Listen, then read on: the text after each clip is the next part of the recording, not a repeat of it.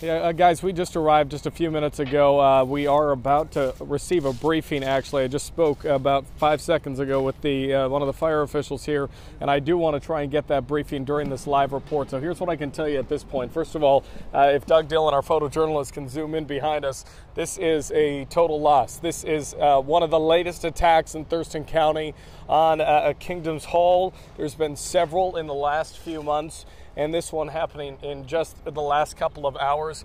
I believe we have a microphone on right now and a fire official with the uh, Lacey Fire District joining us right now.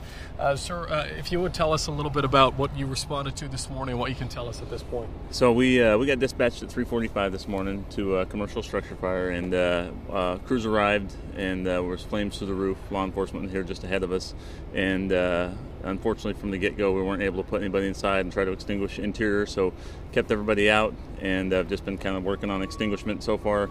Working with law enforcement, we got federal agencies on scene to help with the start the investigation process, and uh, we're just kind of moving forward with that. Anything that you can see initially, obviously, given the the string of attacks here on Kingdom Halls in recent months, suspicious. it, it is suspicious, I would imagine. That's the way we're approaching it, and uh, you know, pretty much just from dispatch, we uh, we know the address and uh, we know the history in, in, our in our county, and and so we kind of approach it with that from the get go. Was there any visible sign of arson that you were able to identify just from walking onto this scene minutes ago? You know, uh, I I can I can answer that very well. The uh, we do have our our investigator that's on shift that kind of started that initial uh, scene survey, and and so he'd, he'd, be the best for that. But uh, nothing that we've found so far that I've heard of. Is there anything that anyone watching could do to help this investigation if they have any information? You know, um, obviously, uh, if anybody has any information to forward up um, through the local law enforcement agencies, uh, sheriffs, Thurston County Sheriffs did the uh, survey all of the existing uh, Kingdom halls in Thurston County for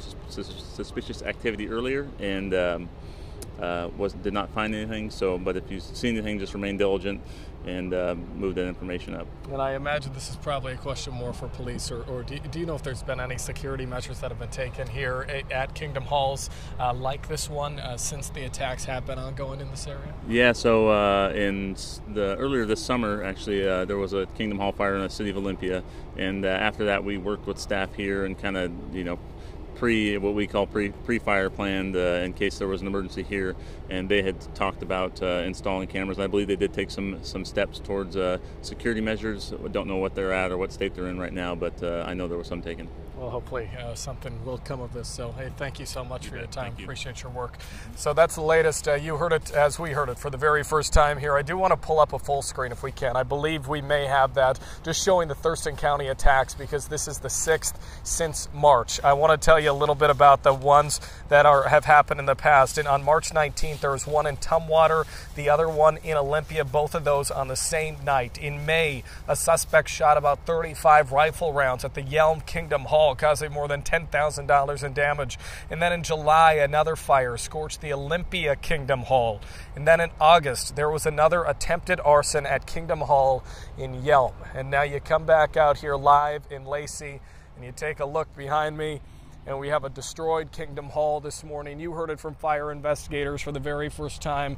We're going to be on scene this morning, Stephen Joyce, but obviously a devastating look right now at uh, what is left behind of um, this Kingdom Hall this morning. It is really, really something to see that just completely burned down. All right, Alex, we'll get back to you as you get more information as they uh, just now are starting that investigation there.